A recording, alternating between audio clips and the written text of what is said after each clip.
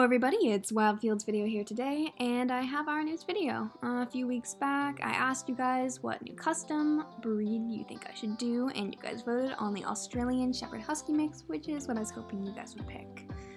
So basically, this is a Husky. I'm pretty sure most of you guys know what a Husky looks like, but I thought I'd just show you off anyway. And right now, what you're seeing is a picture of an Australian Shepherd, and my goodness, these dogs are cute! Okay, and finally we have the Australian Shepherd Husky mix, and my goodness, these dogs are adorable. I didn't actually know they were a breed till pretty recently, so I knew when I found out I really wanted to customize one, and clearly you guys wanted me to do one too.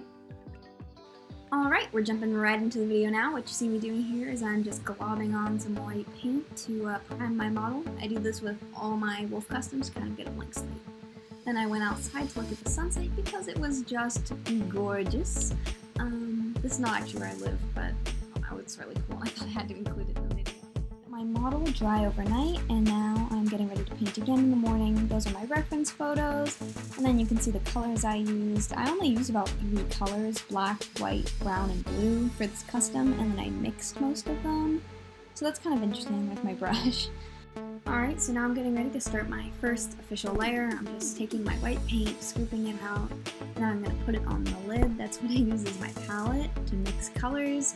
Then I took some black and dabbed it on there. The color I'm going for is a very light gray. You can see I'm just going to mix those colors around. Um, nice and mixed together, I guess. And uh, there's my color. Then I just got my paintbrush and started painting the first uh, layer on this model.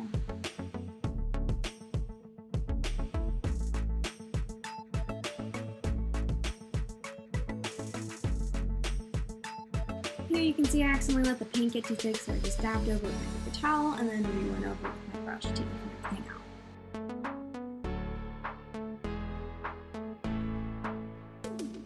This is the point where I started to add my second color. It's a darker gray and I went a lot lighter over the model um, to try to add some depth and dimension to it. So you can just see me going in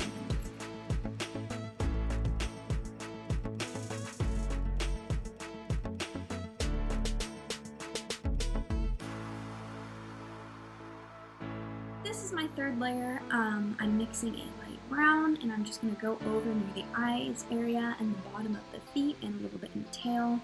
And basically just mixing that color in there because I noticed the Australian Shepherds have a lot of this color.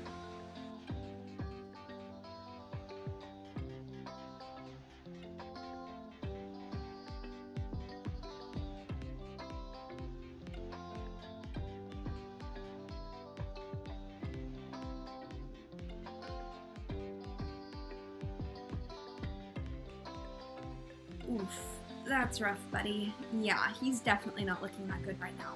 But I just wanted to try to stay with the process, eh, but he was definitely looking not so great.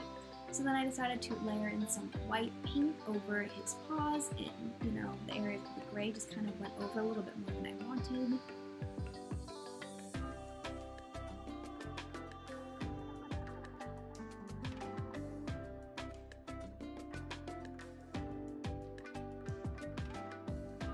After letting that layer dry, you can see that he's looking a lot better and a lot more finished. So now I'm just going to go in and start adding my black um, spots that the Australian Shepherds have.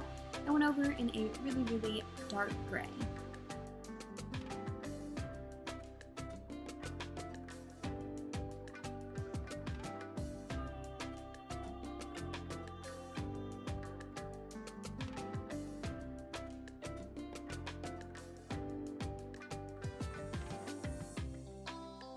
This point, the model was really starting to come together. The shading and the coloring, and he was beginning to finally look really good. And I got really excited because, you know, I've literally never seen a custom like this at all.